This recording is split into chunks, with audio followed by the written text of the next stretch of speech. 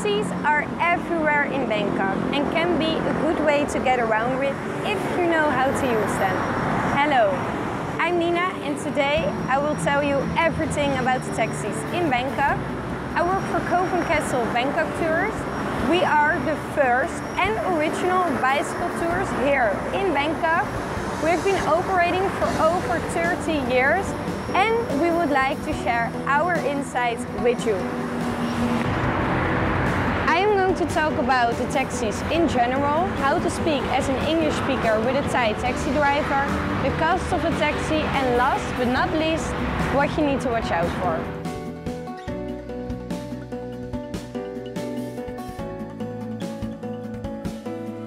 There are 150,000 taxis in Bangkok and they come in many different colors.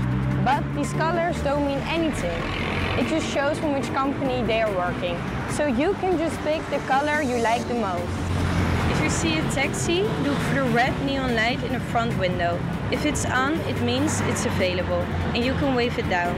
In Thailand, you call someone by waving your hand down. The first rule of taking a taxi in Bangkok is always use the meter. If they disagree on this, don't step in, just take the next one. This isn't a problem because there are plenty of taxis in Bangkok.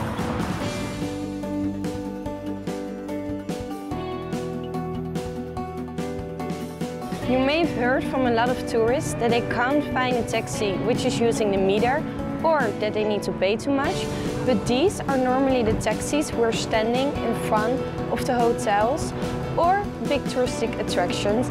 My tip is to walk to the nearest road and flag down a driving taxi and hopefully he will use his meter.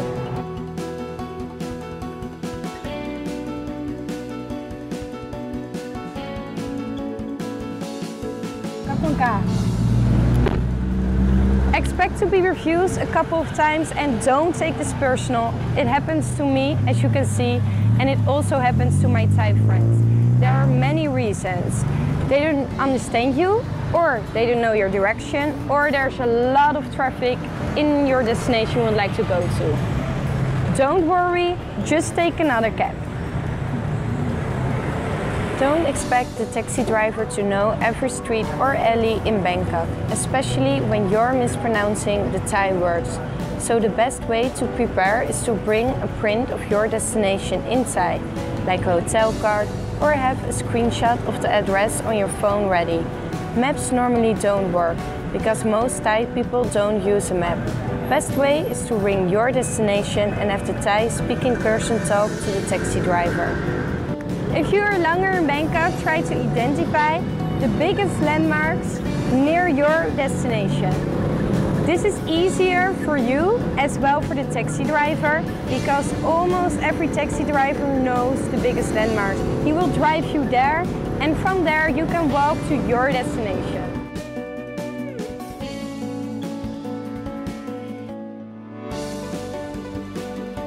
Once you get in a taxi, the taxi driver will push a button and the meter will start. Starting fare is 35 baht. After this, it's around 5 baht per kilometer. If you're stuck in traffic and you're standing still, it's 2 baht per minute.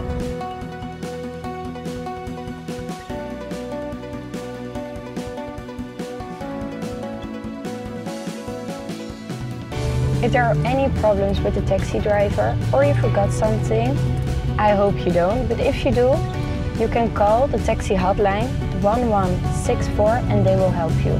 So if you step in a taxi, you need to remember this number or even make a picture.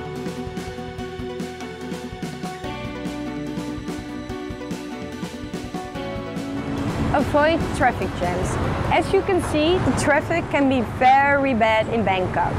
Rush hour is between 7 and 9 in the morning and 6 till 9 in the evening. If you're somewhere important to go, just take an extra 30 minutes or use the BTS. And after that you can use a motor taxi. This is a lot easier. Once you reach your destination, you just need to pay whatever the meter says. So don't bring only big amounts of money because the taxi driver may not have any change or use this as an excuse. So you just need to make sure you bring small notes with you. About tipping in Bangkok, it's not expected of you, but it's convenient for you and for the taxi driver to round up the amount with 5 or 10 baht.